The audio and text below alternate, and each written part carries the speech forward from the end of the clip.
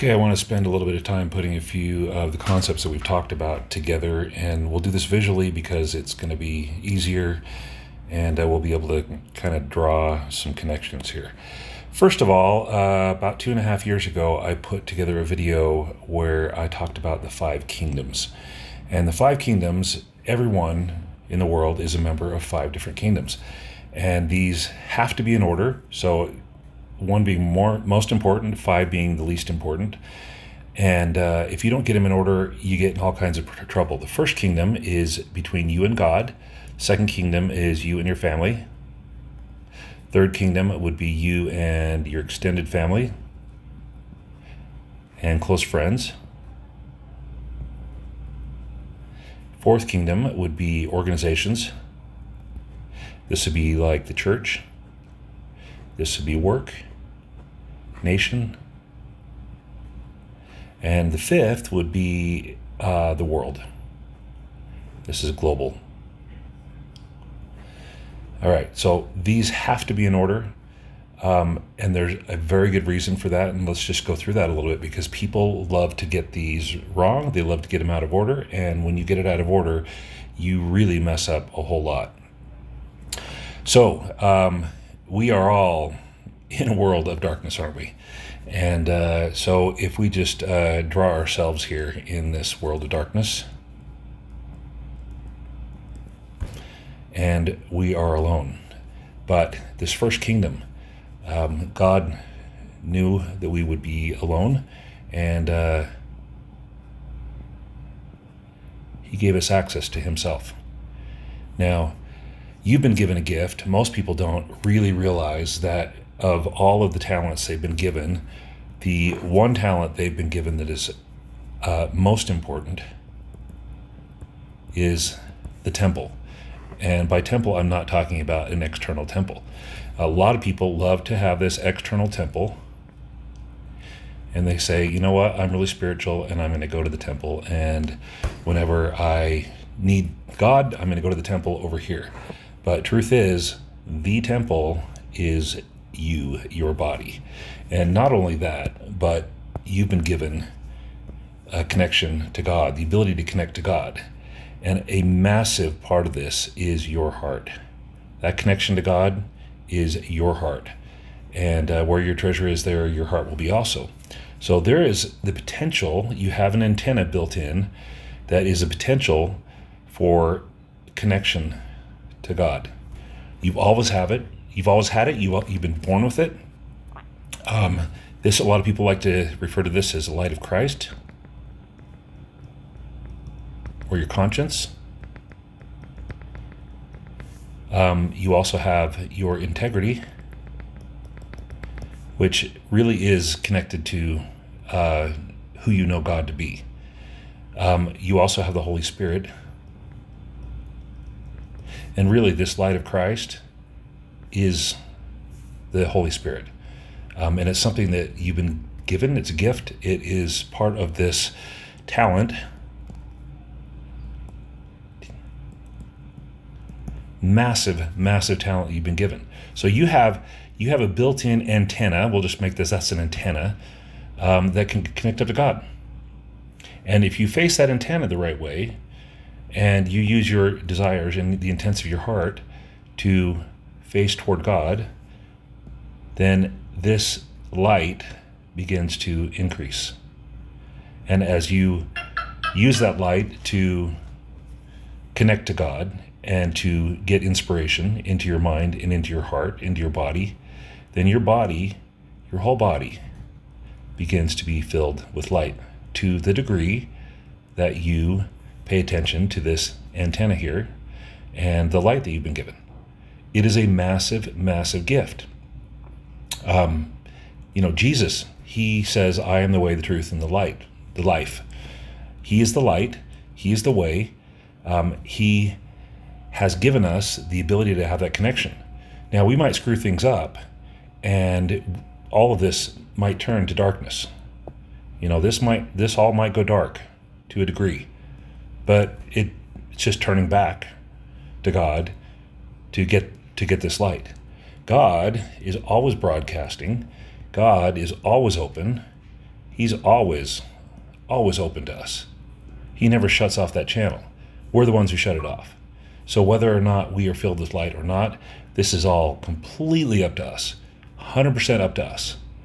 Um, if we're in darkness, um, all that's needed is to find a way to connect to God. I'm not saying that's easy, but you do have all of these gifts, um, everything that you know, um, even though you're sitting in the darkness, even though um, things are really terrible and people are attacking you and you feel unloved by the world and you feel lost, you still know.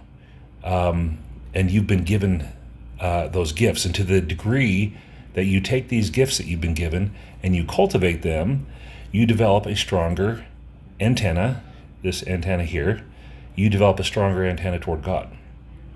So, as far as um, the importance of this step, this is kingdom one.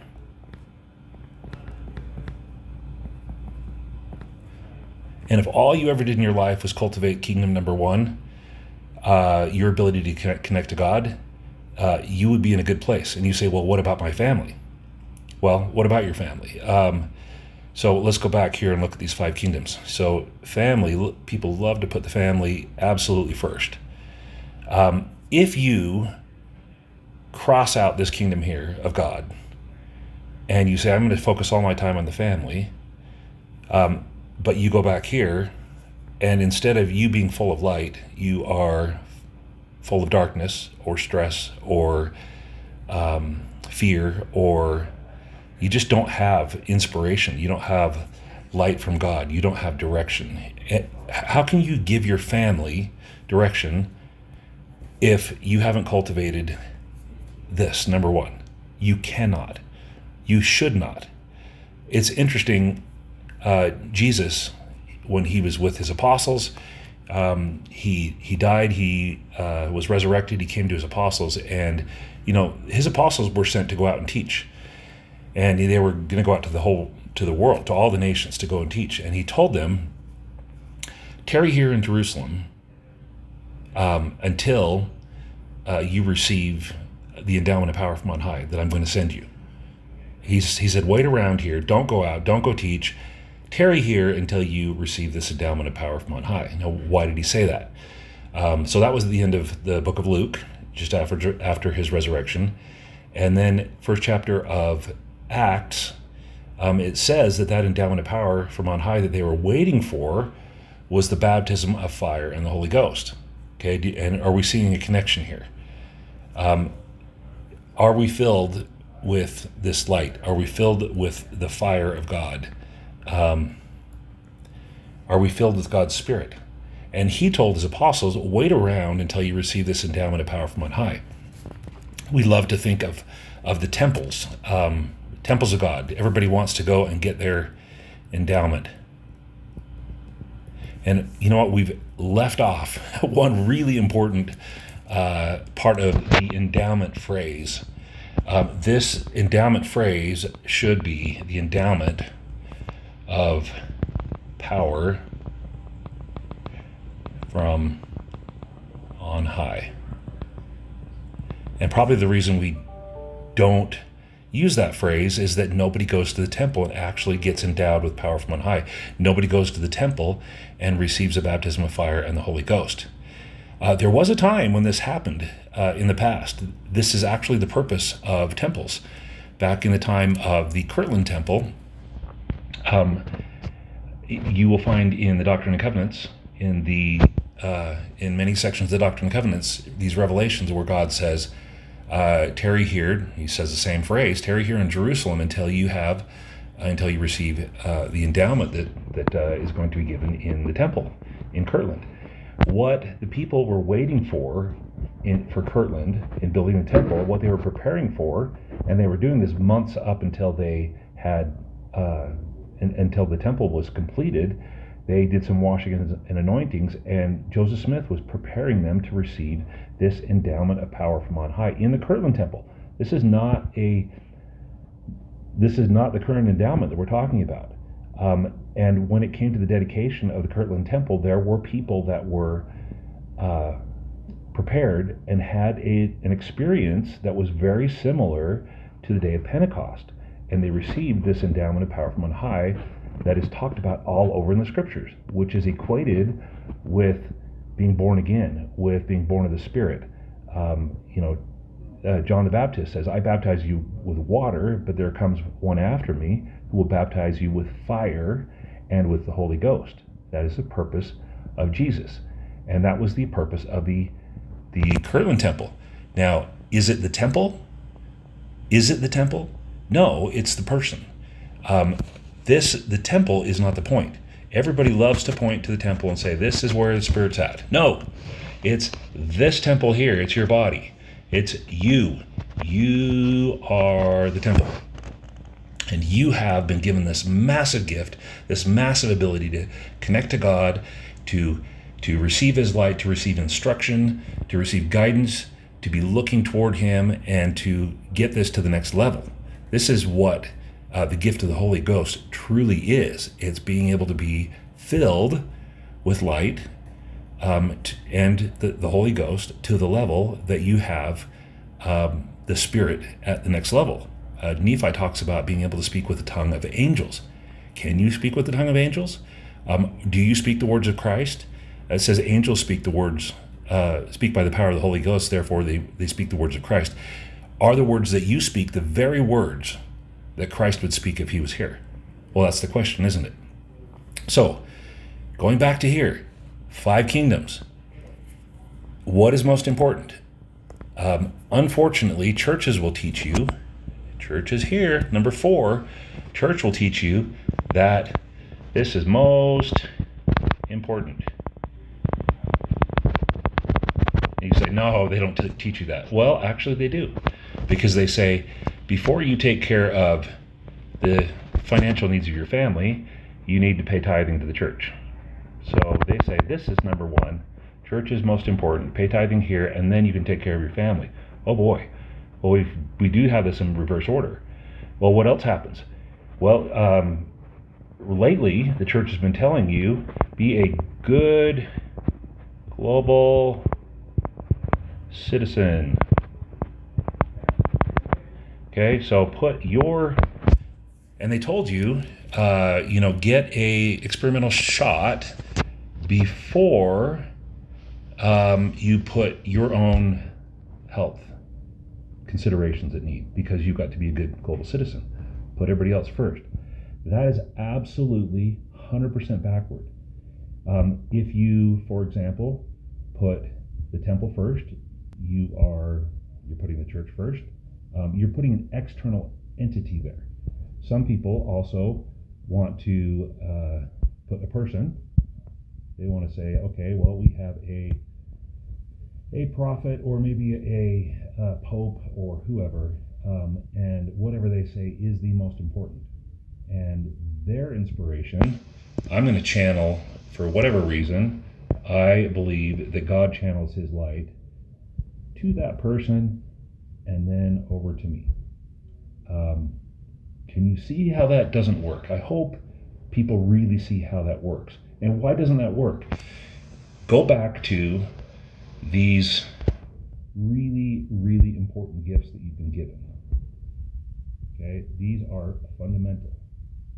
These are gifts, these are talents, these are things that you are supposed to develop. It is part of this antenna that you have that connects to God um, this light of Christ, uh, your conscience, if your conscience tells you um, that you're supposed to do somebody something, and then somebody else comes and tells you um, there's something else that you need to do.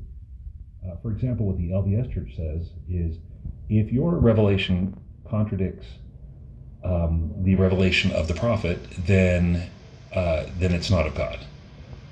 So basically, they're telling you, and this is really weird, they're telling you that.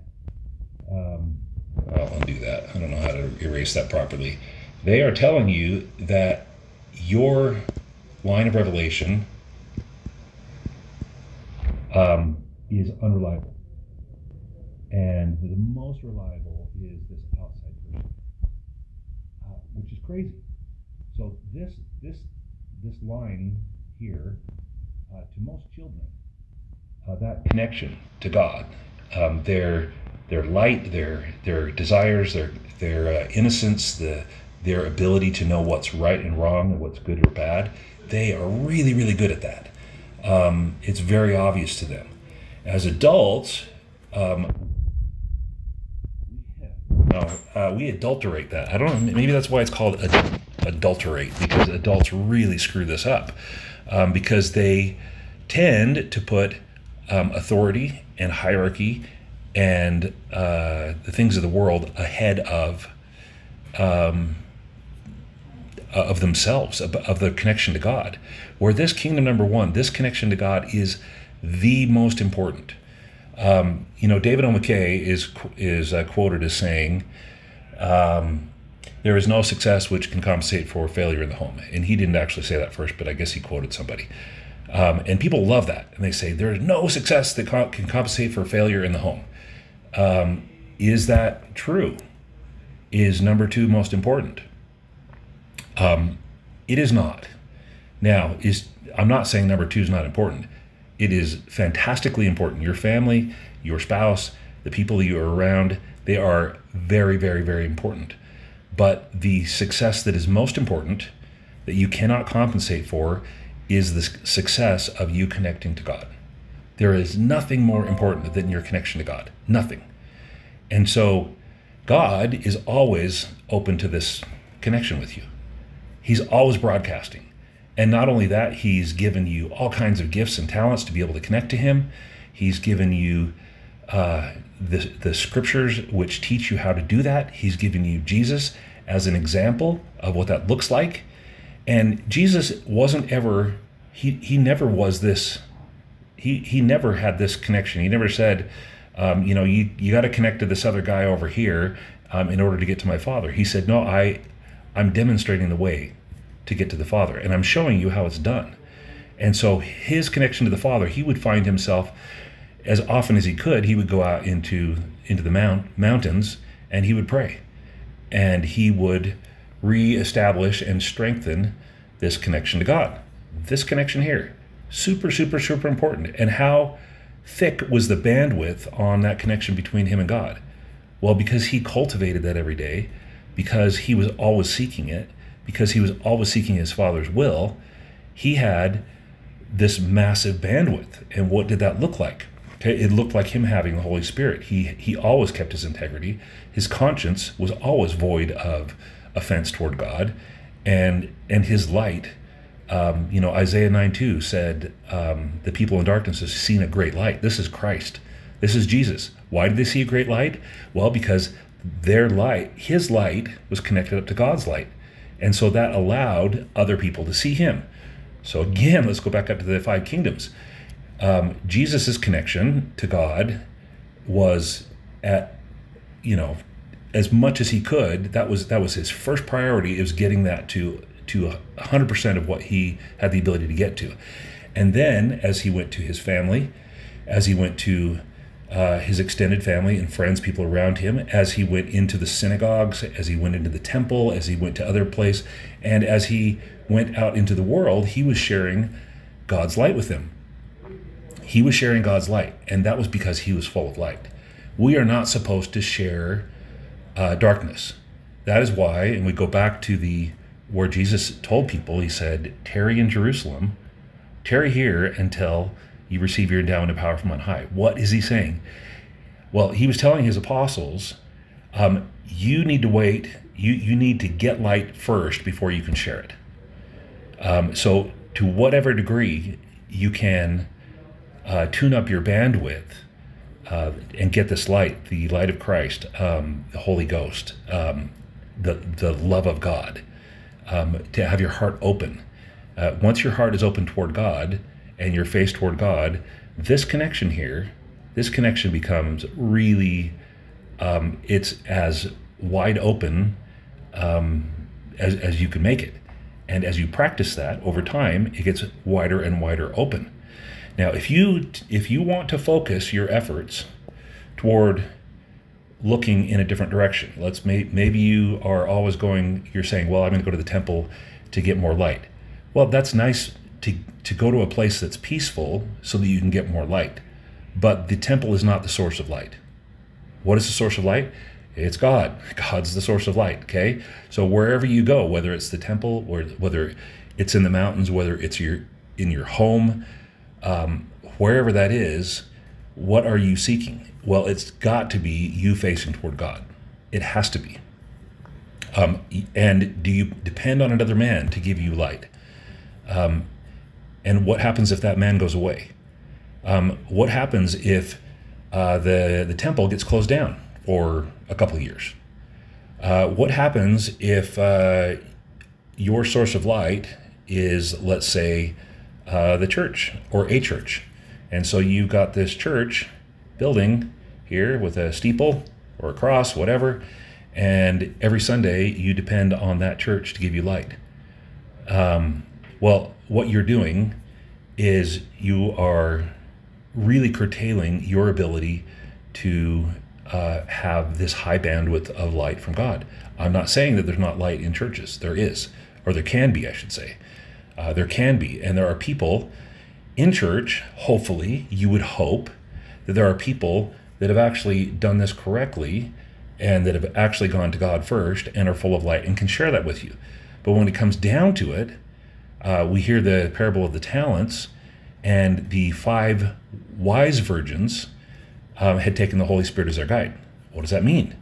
Okay, that means that in everything that they did in their life, in everything they did, um, this connection here was preeminent. That's taking the Holy Spirit as your guide because the Holy Spirit really is the mind of God. And so they nurtured that connection to God. They, uh, when they felt darkness, when they felt loss of direction, they turned back to God and nurtured that connection to God. And so that is taking the Holy Spirit as your guide, is nurturing the blessing and connection that you have to God. Um, and it doesn't matter if the temple's closed or it doesn't matter if it's not sunday. It doesn't matter whether you're in your house at work or in the mountains or whether you're in a prison or whatever. If you know how to get that connection to god if you know what that feels like and um, and how to open your heart to god no matter what the situation then uh, then you have taken that talent and you've multiplied it. If what you've done is pointed toward other people, then what have you done with this massive talent that you've been given? This talent of being of having this antenna toward God, this ability to connect to God, that you have a conscience, you have your integrity, you have uh, the light of Christ, you know what's right and what's wrong, and you need to you need to be doing it.